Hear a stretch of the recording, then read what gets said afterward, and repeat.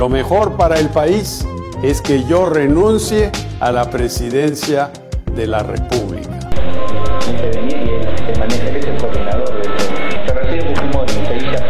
Quiero que me apoye mi libertad.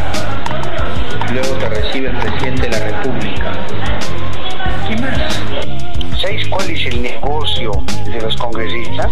Pucha, la plata te llega así fresquita, pues, hermano.